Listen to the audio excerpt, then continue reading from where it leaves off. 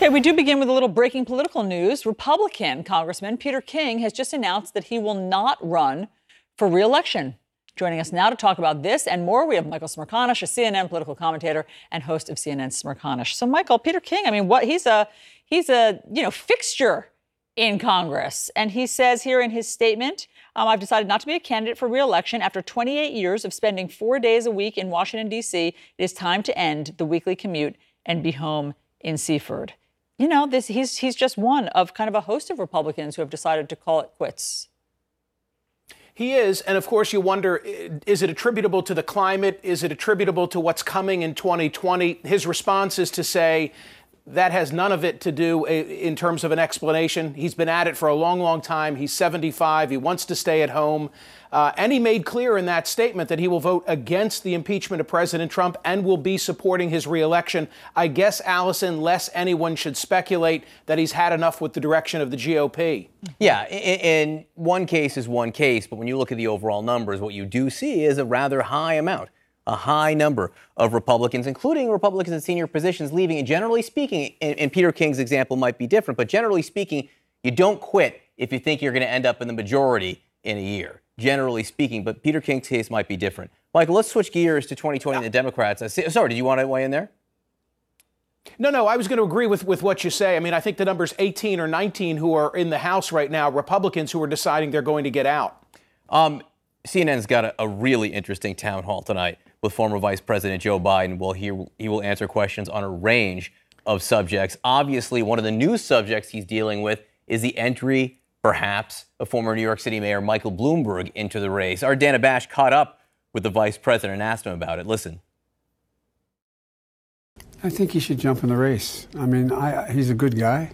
Uh, he's done a lot of good, and uh, let's see what happens. And the notion that the current field is not well, the current prepared to beat to beat Donald Trump, which is what's motivating him. That's what, what his top advisor. Well, I've noticed that every single poll that's run, I beat him like a drum, as I said. There's and, and states in the South, and states in the Midwest, and states around the world. So, look, I, I, I look. Uh, if he wants to run, he should just get in and run. You're not taking it personally. No, no, no, no, no. Again, we're going to hear much more from the former vice president tonight, Michael. What do you think he needs to do on that stage and in the next few days? I keep thinking that Bloomberg's entry increases the odds that this is going to go on for a while. I mean, Joe Biden is not at the top of the heap right now in Iowa, probably, or New Hampshire. He's running very strong, according to the polls, in Nevada and especially in South Carolina and then Michael Bloomberg gets in. You know that Super Tuesday is going to be different this year because both California and Texas have moved their dates forward. So March the 3rd is a very important day. Now Bloomberg is in, presumably spending a lot of money. And uh, given the proportionate nature of the way that Democratic candidates are, are selecting their uh, nominee, I just think this could go on and the field won't get winnowed like the Republican field did in 2016. Hmm. As you know, Mayor Pete Buttigieg has had a bit of a surge in polls lately, and Senator Amy Klobuchar, another presidential candidate, of course, um, sees something I think interesting. Uh, she framed it in an interesting way that we hadn't heard before. Here's what she said about Pete Buttigieg versus some of the women, the female candidates.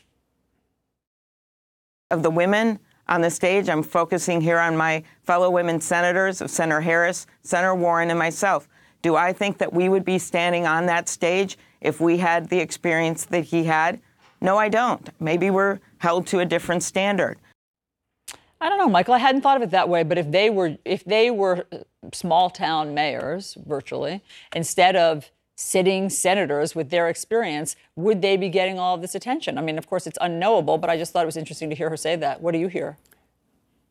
It is unknowable. My hunch is there's truth in what she says. Uh, uh, now, part of his appeal also is in that newness, right? People who are looking for something completely different than what's going on in Washington today, he's a very appealing candidate. But I've long believed, gender aside, that sooner or later people are going to say, wait a minute, we like him, we like his credentials, he really seems like an up and comer, but is it too big of a leap? To go from being the mayor of South Bend to be president of the United States. Although, Alisyn, I'm reminded that in 2008, I remember people who said, wait a minute, he's only a junior senator from the state of Illinois. Then again, Barack Obama was in the U.S. Senate and not a relatively small town mayor.